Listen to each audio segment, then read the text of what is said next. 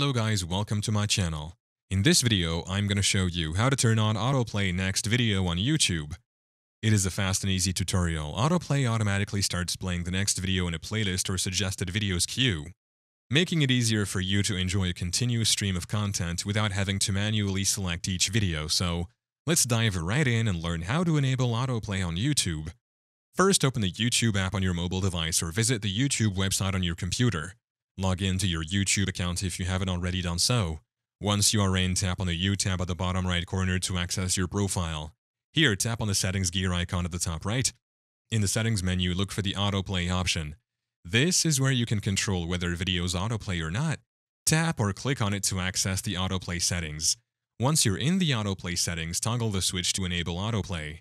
This will ensure that the next video in a playlist or suggested videos queue will automatically start playing after the current video ends.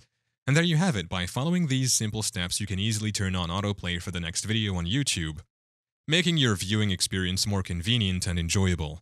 Thank you for watching, if this video was helpful, please leave a like and subscribe to my channel for more videos like this, and click on that notification bell to never miss an update.